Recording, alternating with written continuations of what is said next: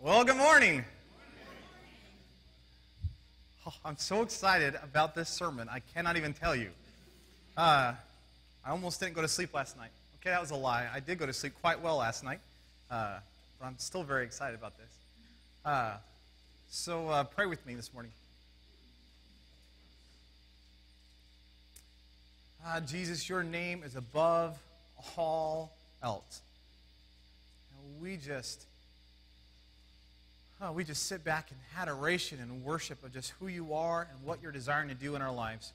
God, I just pray that you would just move this morning. Would you speak through your word? Uh, would you just impress your heart and your mind upon ours?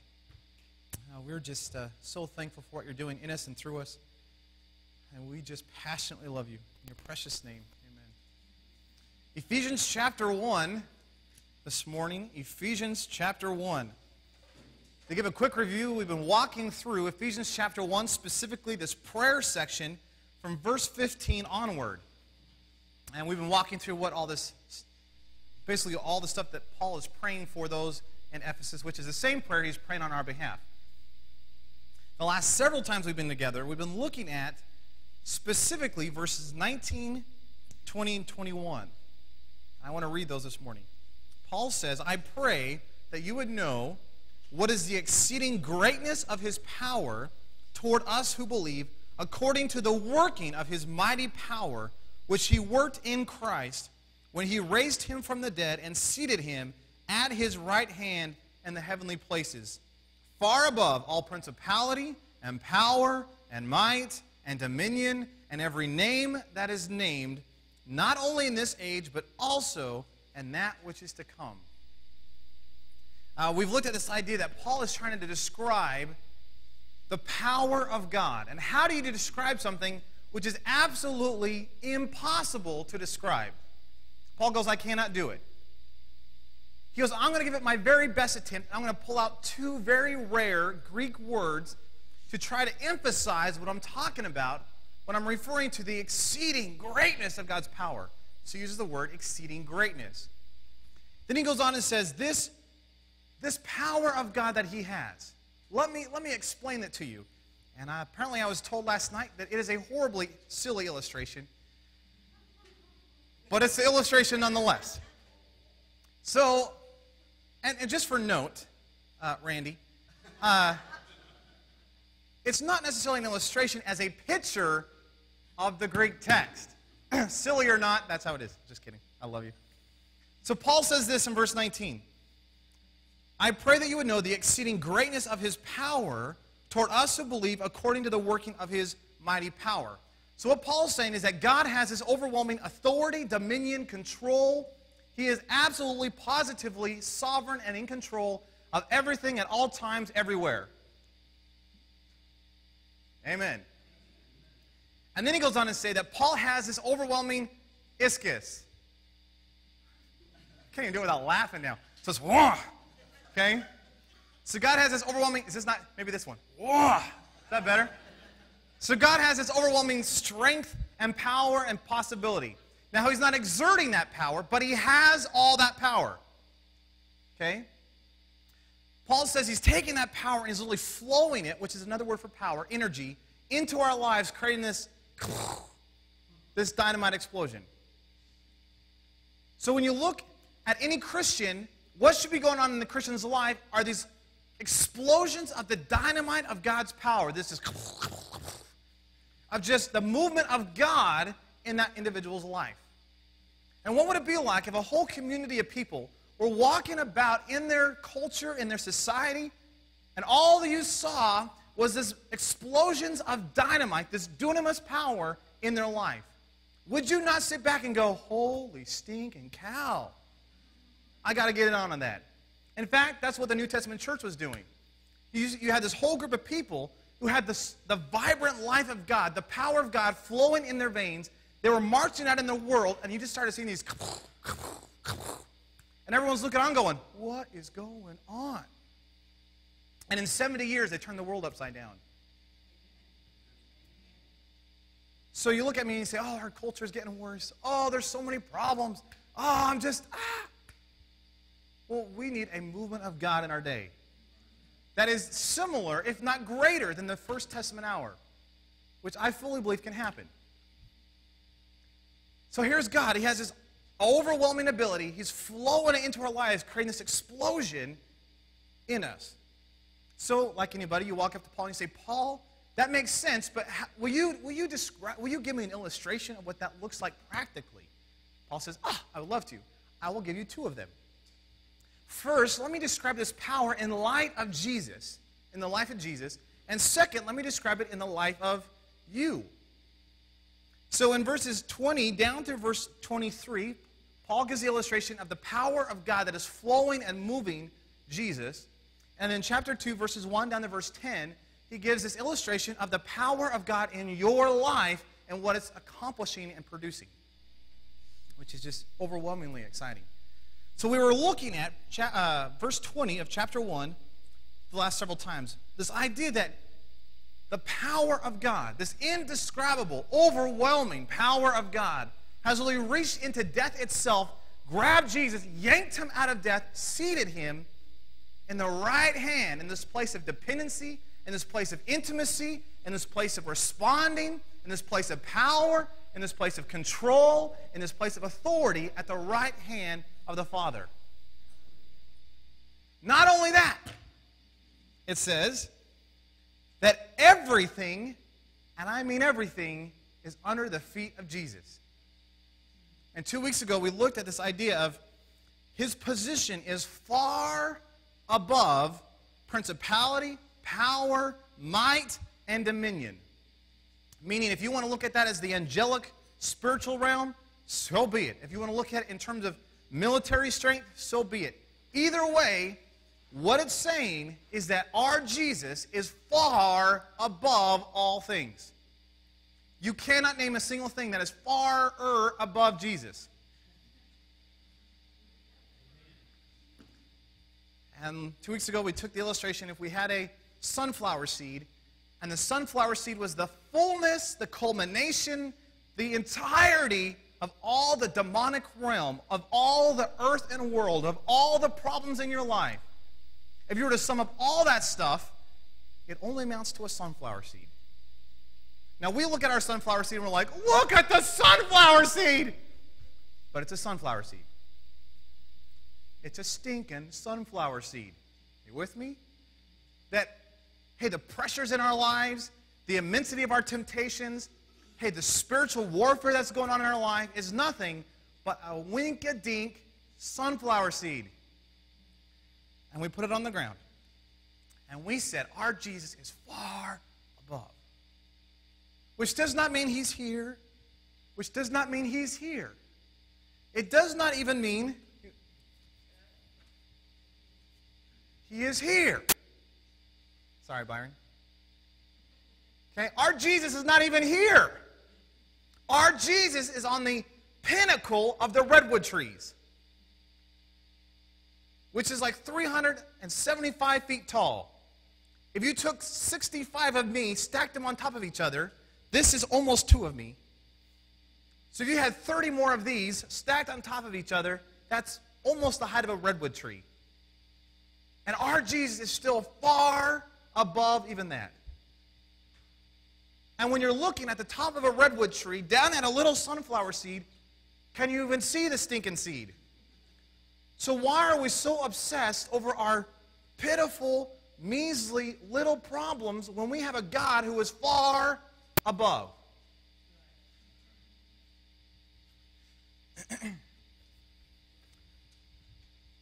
Which brings us to our passage this morning. With all that in our minds, Paul says not only is he far above anything you can name, but in verse 21, in verse 21 he says he's not only far above over principality, power, might, and dominion, but he's also far above every name that you can name. Every name that you can name, he still has a greater name. All right, stay with me because you'll be bouncing up and down in like 20 minutes here. This is so exciting. Our God does not merely have a Oh, well, he has a good name. It's, it's Jesus.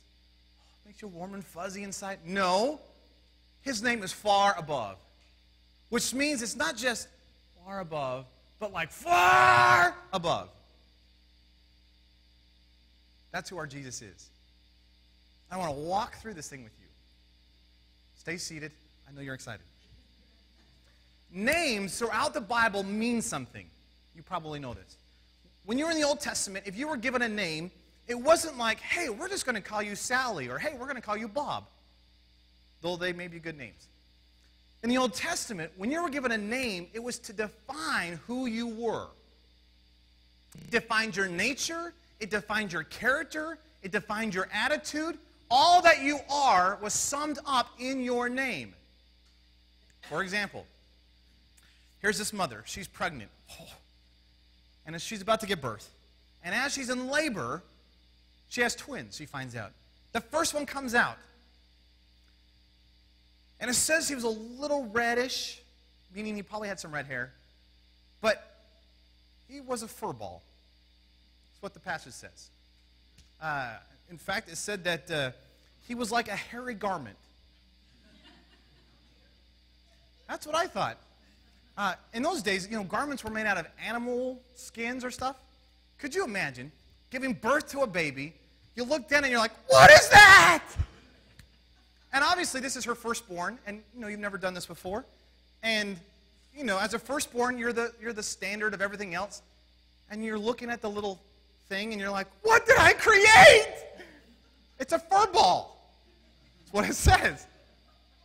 Look it up, Genesis in the book of Genesis. That's what it says. It's a fur ball. That's my translation, but it's a fur ball. And they looked at it and like, what are we going to call it? And they named him Esau. Well, why did they name him Esau? Because Esau means fur ball. It means a hairy garment. That's what it means. That poor man had to live the rest of his life. Anywhere he went, yo, furball. Could you imagine like elementary school? I mean, uh, later on, his uh, brother, you know, maybe like three minutes afterwards, decided to come out. And he was holding on to the heel of the furball. So, what do they name that kid? Jacob. Well, what does Jacob mean? It means the heel grabber which actually means the deceitful one, the trickster, he, he, he's the cunning, he's the smoozer, he's, he's the, hey, he's going to do whatever he can to get whatever he wants. He's a heel grabber. Well, that was the name they gave the kid. Guess what his character and nature was throughout his life? He was a deceiver, he was a trickster, he was a manipulator, he was a smoozer. He, he was manipulating things to get what he wanted. That's who he was. They named him Jacob.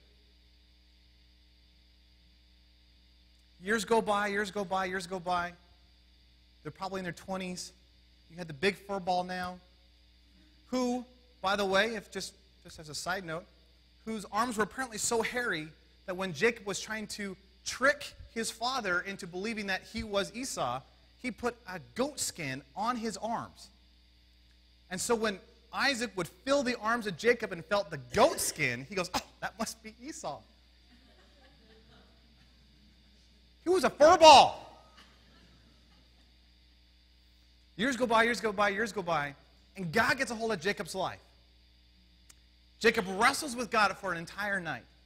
And God looks at Jacob and says, I will no longer call you Jacob. Why? Well, because your name represented your character and your nature. And God says, I am no longer going to refer to you as the deceitful one. I'm no longer going to refer to you as the manipulator. You are no longer be, going to be known as the trickster. I'm now going to call you Israel. And Israel means the one who contends, the one who wrestles with God. Somewhere else, it means the prince of God.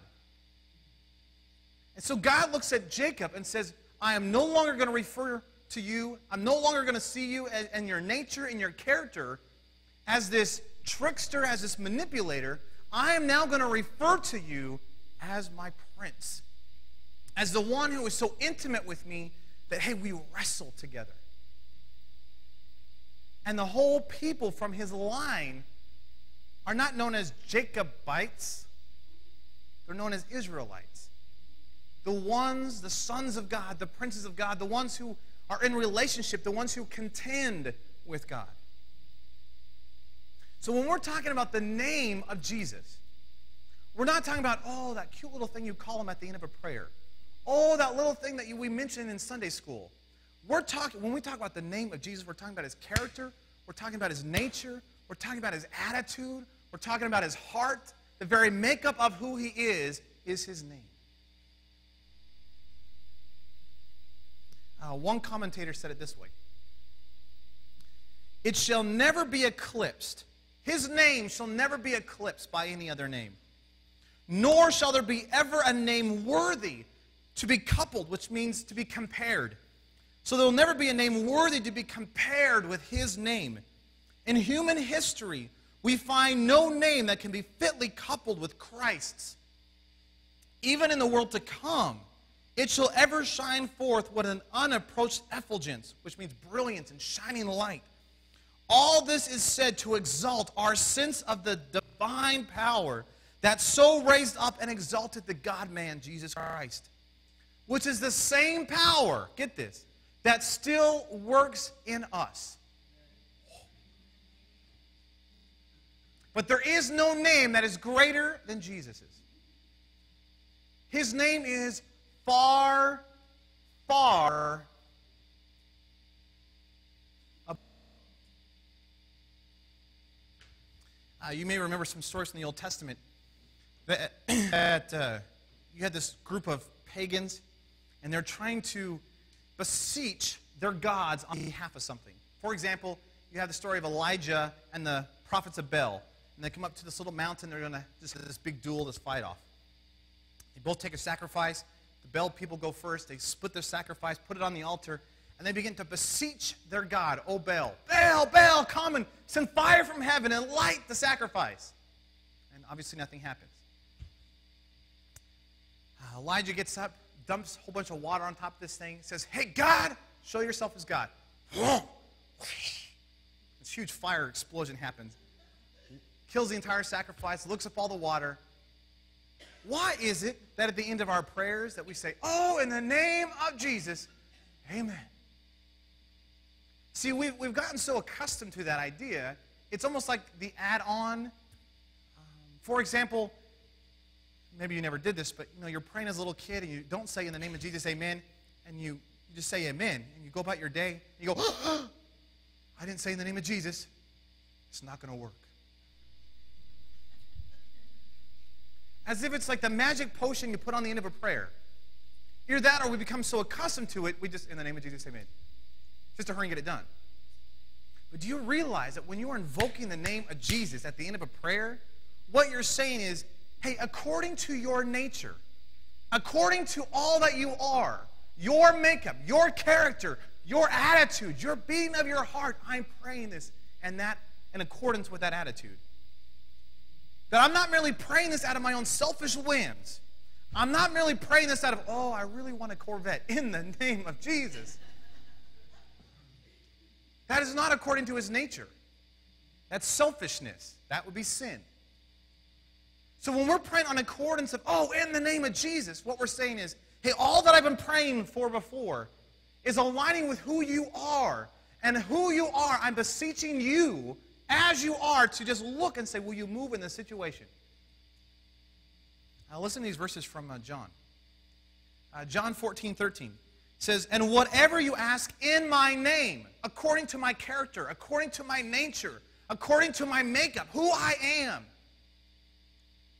that whatever you ask according to that, that I will do, that the Father may be glorified in the Son. Well, Nathan, I've been praying and praying and praying and praying. I know it's according to God's will, but it's not happening. Keep on praying. It's promised. If it's according to his nature and God has placed it upon your heart, you can take it to the bank. And it may take years and years and years and years and years to see fulfilled, but it will happen. If it's a God prayer, He's praying it, He's birthing it in you, and it's according to His nature and His character. He can't say no. You can press back at me if you want later.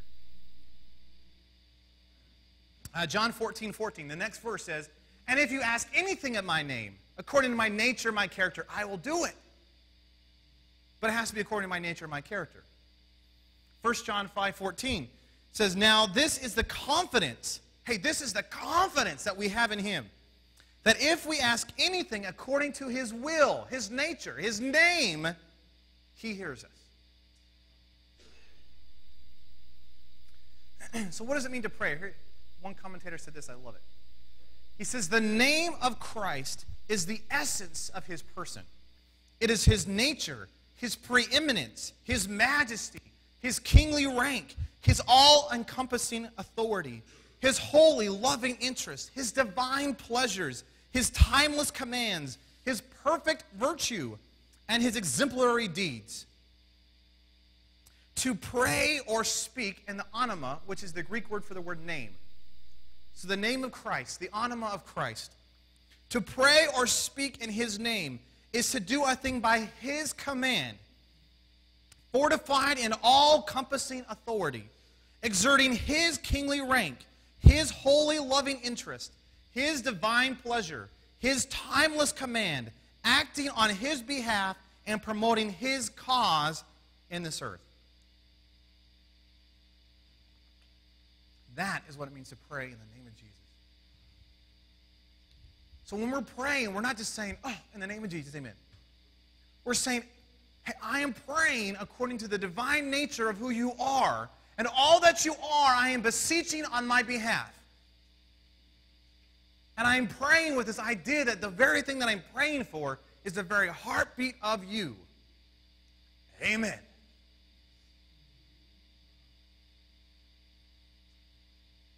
So if that makes sense to you, I want to take, take it up one more level. You realize that the name of Jesus is above all other names. But we as Christians are the very bearers of his name. We are name bearers. In fact, Christian means little Christ. Christ in that his name and his nature is the very thing within our lives. That we bear his name. For example, you have this cute young couple, they're getting married. And the bride looks at the groom and says, You know what? I love you. At least I hope that's what they're saying. I love you. You know what? I, love you so much that all that I am, I'm going to toss aside. I'm going to give up my selfishness. I'm going to give up my rights. In fact, I'm going to give up my entire identity.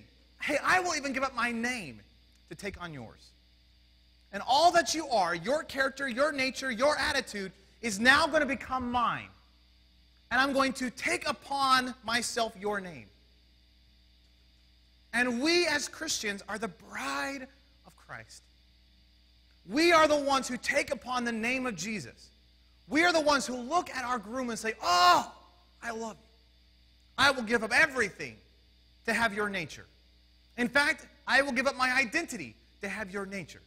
In fact, you can take my name so I can have yours. And he bestows upon us his name, which does not mean merely we take on his name, but also his character, his nature, his attitude, his heart, his mind, his. We are bearing his name. Uh, Isaiah 62 5 says, And the bridegroom rejoices over the bride, so shall your God rejoice over you. Our God rejoices over us. As a groom looks at his bride and rejoices over a bride. 2 Corinthians 11 2. For I am jealous for you with godly jealousy, for I have betrothed you to one husband, that I may present you as a chaste virgin of Christ. We are his bride. Ephesians 5:31. For this reason a man shall leave his father and mother and be joined to his wife, and the two shall become one flesh. This is a great mystery, Paul says, but I speak concerning Christ and the church. That the whole illustration of marriage is to be a picture of our relationship with Christ. Because we're taking on his name. Uh, Song of Solomon 1 3. I love this passage. Oh, so good. Because of the fragrance of your good ointments, your name is ointment poured forth, and therefore the virgins love you. Do you realize that our groom has this ointment, this fragrance, and he so passionately loves his bride that he is pouring his name out upon us? And we not merely have his name, but it's literally, there's this deposit of the essence of who he is within us. He has literally put within us the essence of his nature. Christ in you. We are his bride. If this was true, would we not look at every single situation, every single problem, every single good thing, and say, I bear the name of Jesus, which means I have his attitude, I have his nature, I have his character, I have his flow, I have his love beating inside my life. It also means that because his name is far above and all things are underneath his feet, and he's inside of me, then all things are beneath my feet. And nothing can touch me. Would we not walk around with a triumph, with a joy, with an excitement, with this passion? In fact, Paul says this in Romans chapter 8. He says, Who shall separate us from the love of Christ? Hey, tribulation, distress, persecution, famine, nakedness, peril, or sword, can that stuff even separate us? No, Paul says. Yet, in all these things, we are more than conquerors.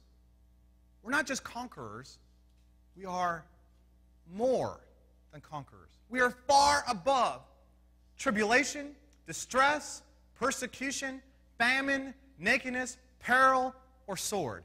We are far above it because Christ lives in us.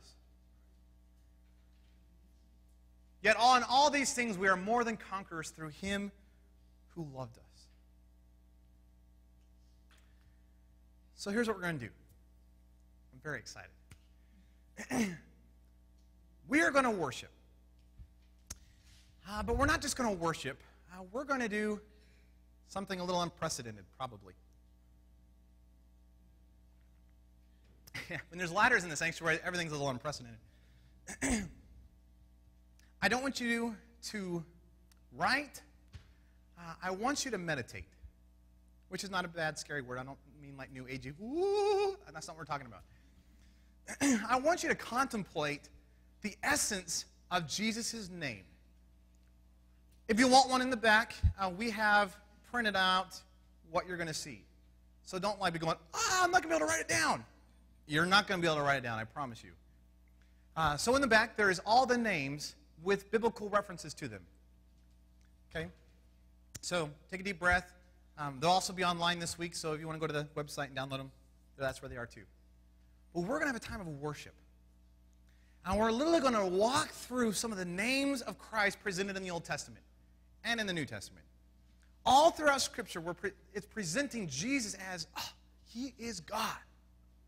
And as we're walking through this, keep in mind when we're talking about the names of Jesus, we're not talking about, oh, always cute little fluffy Sunday school names. We're talking about His nature, His character, His attitude, His very makeup.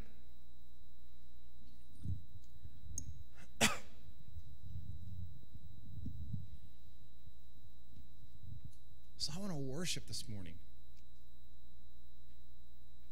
And I want to give you permission to worship. Which means if you want to stay seated, stay seated. If you want to stand up, stand up. If you want to come to the altars, come to the altars. If you want to get on your face, get on your face. If you want to do the hokey pokey in the back, i give you permission. But I want you to see the names of Jesus in a whole new light. Because the very essence of his name is who he is.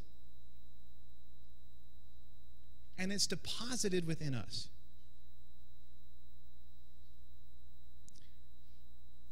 So, this is who Jesus is.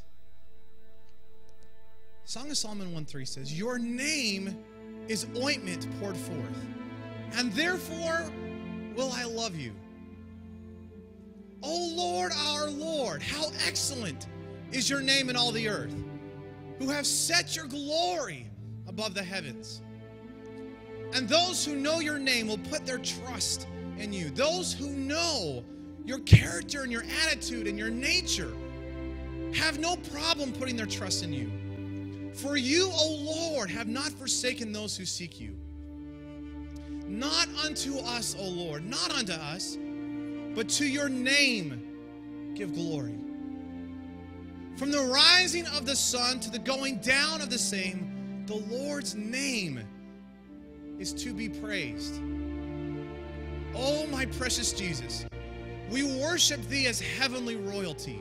We love in thee no mere man, but the King of all kings and the Lord of all lords.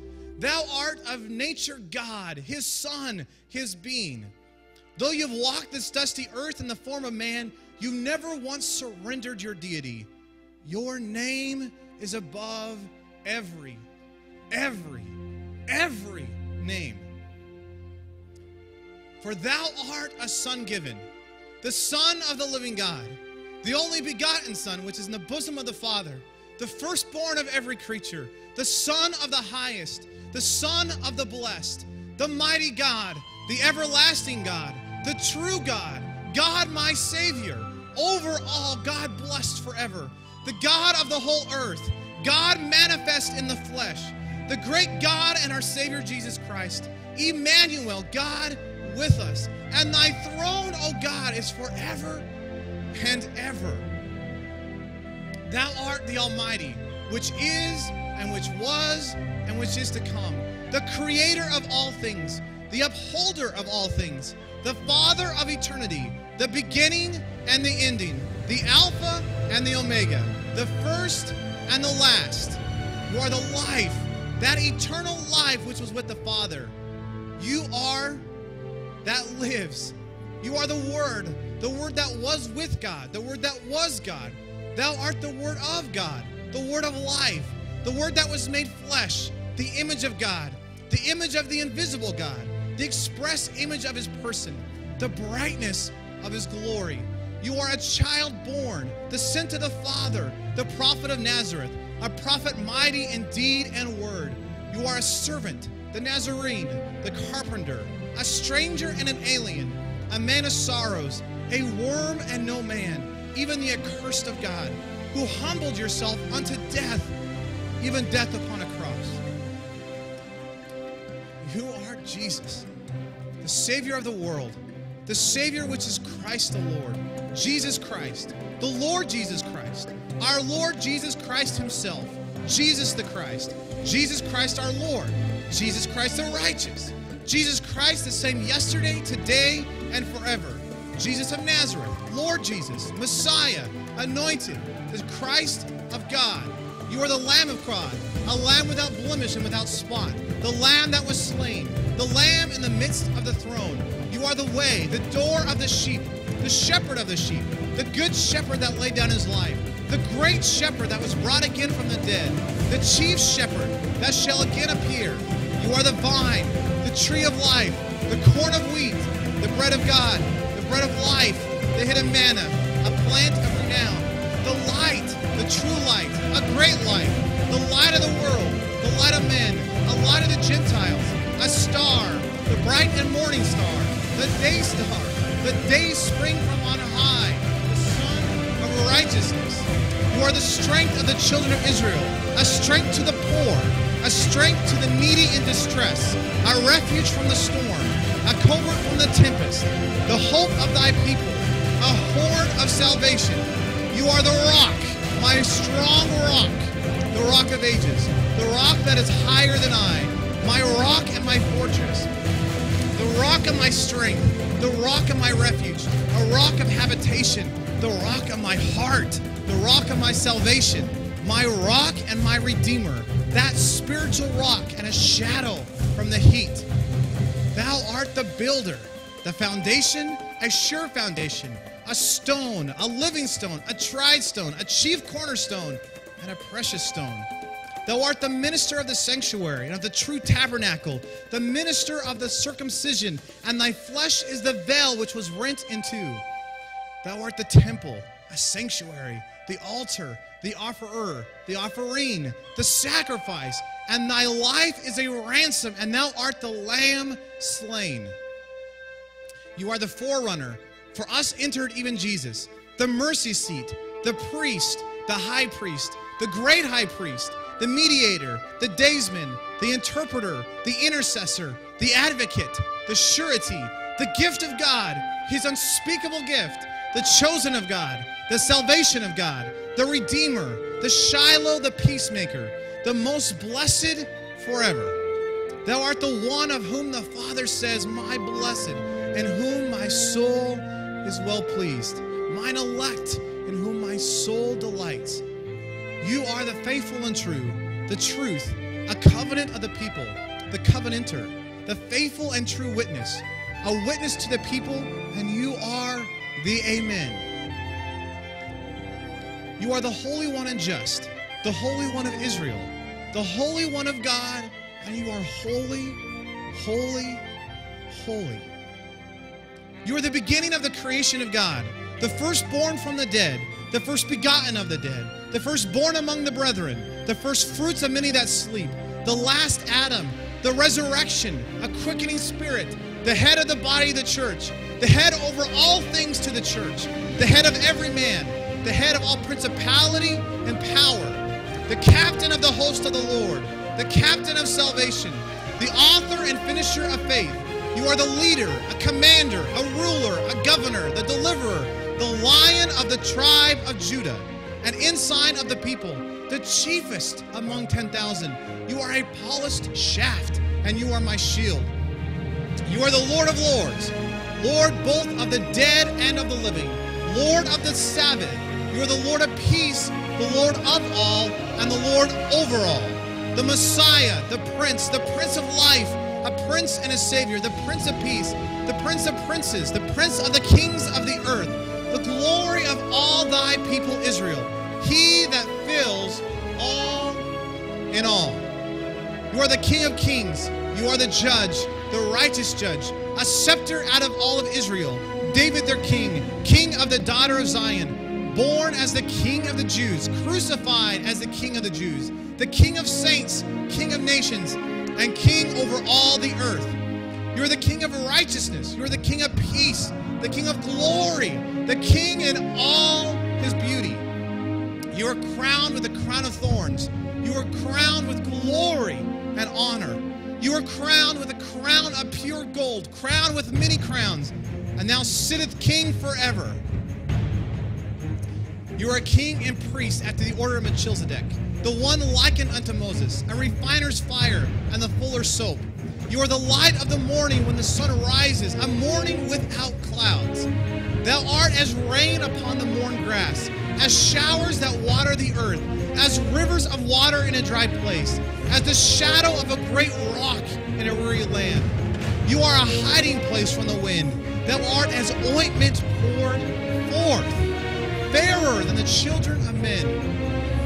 You are a crown of glory and beauty, a stone of grace, a nail fastened in a sure place, a brother born for adversary, a friend that sticks closer than a brother, a friend that loves at all times.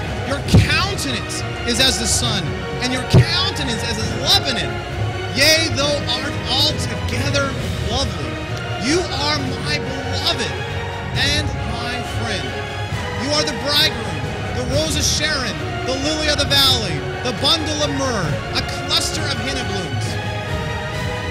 Oh, and you are obedient, meek, lowly, guileless, tempted, oppressed, despised, rejected, betrayed, condemned, reviled, scourged, mocked, wounded, bruised, stricken, smitten, crucified, and forsaken.